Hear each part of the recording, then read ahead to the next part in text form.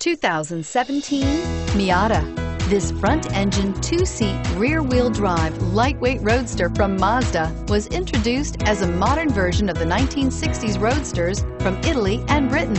Although filled with modern amenities and safety equipment, the Miata is a great two-seater for cruising around town or on a fun road trip, just like its overseas counterparts, and is priced below $35,000. This vehicle has less than 100 miles. Here are some of this vehicle's great options.